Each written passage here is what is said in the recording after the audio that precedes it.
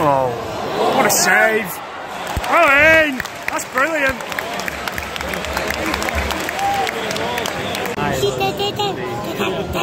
Nice.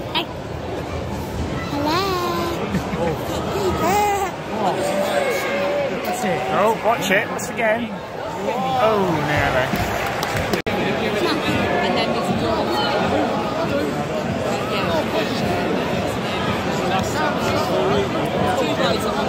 The date of rallies out.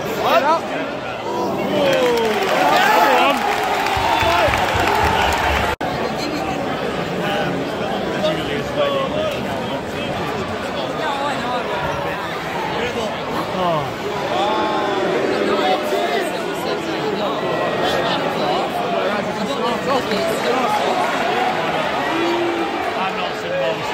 Nice.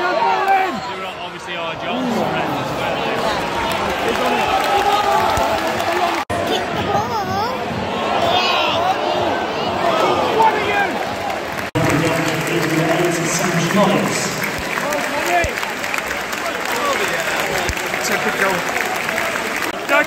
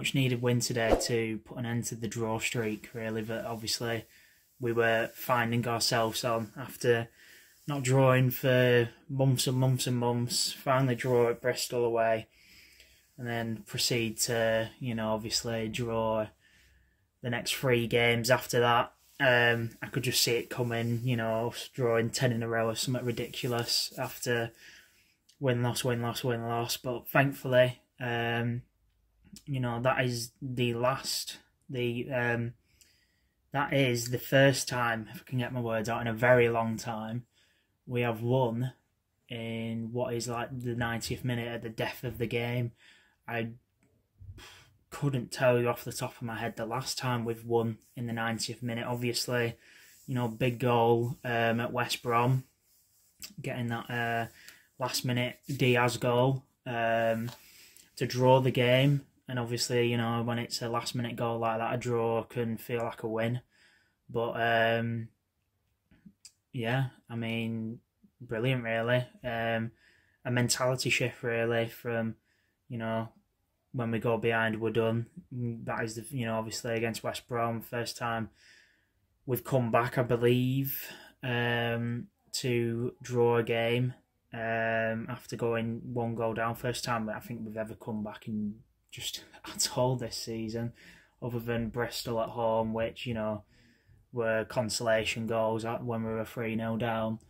Um, but yeah, brilliant really. Two two 90th minute goals, and obviously today a much needed win after dropping points away at Rotherham, dropping points away at Bristol, dropping points home to Wigan. You know we needed that win today, and we've got two very winnable games coming up. Um, Blackpool at home, we have to take the three points. But you look at it on paper and you think, you know, could they do a Wigan, come here and, you know, shit house a nil nil? Um, I hope not. Um, you know, I think we've got a better record against Blackpool than we do Wigan. Um, but yeah, Tuesday night under the lights uh, on Sky. You know, those aren't the type of games we usually flourish in, to be honest. And obviously, with it being a somewhat local rival.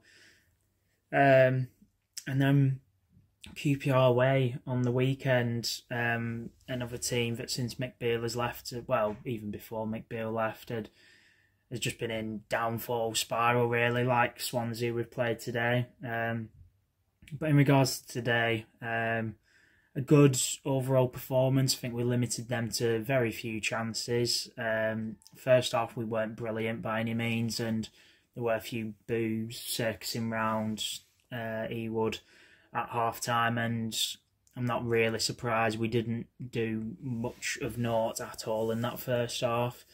Um, but the second half, we came out as we intended to go on from the very get go.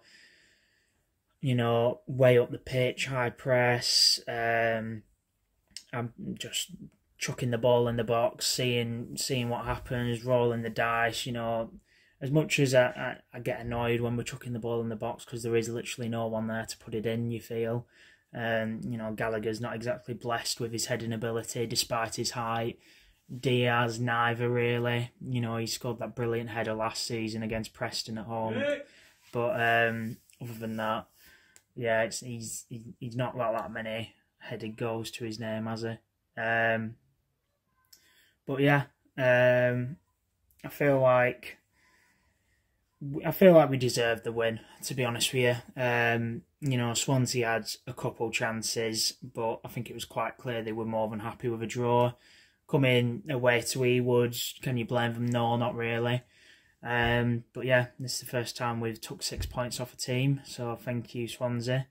Um, we we shall definitely put them in the bag and hope that it spurs us on to another t- uh, couple good results against two very winnable teams.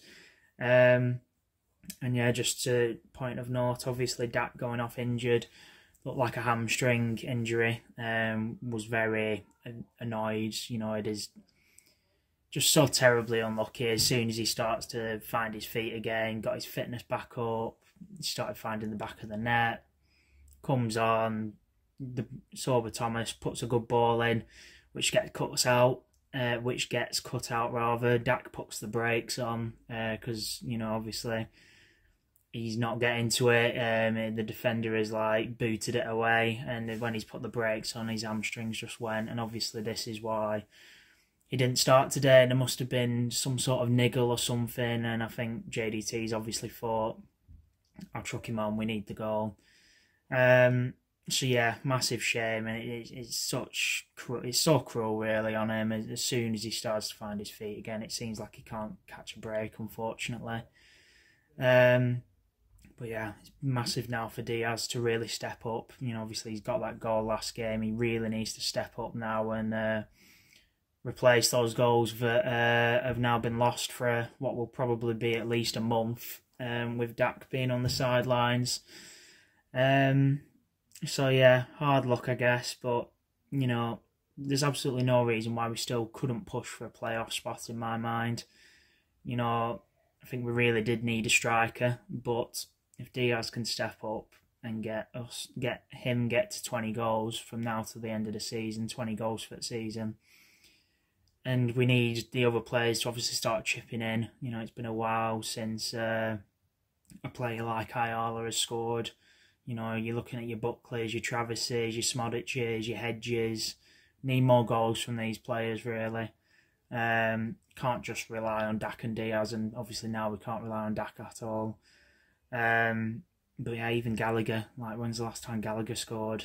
Um, yeah, need need a few more goals from these players.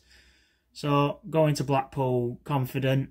Um, you know, obviously they are down there for a reason. Um, but it is the type of game that you know you look at on paper and you think we should turn these over at home easily. But as we've proven, we make hard work out of these worst teams, unfortunately, as we're expected to have the ball and break a team down, and we just can't do it.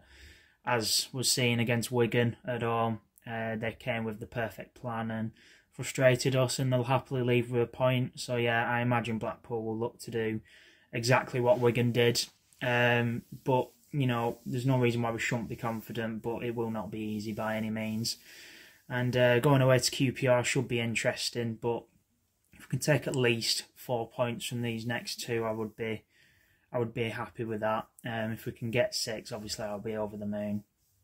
Um, and if we do get six, I think you know there's reason to start believing in ourselves again for playoffs. Need to start obviously picking up more wins now. It's all right saying we've only lost one game this year, um, but look at the points we've dropped against some weak teams in this league. So yeah, on to the next one, and uh, let's hope we can get those points against the Tangerine Army.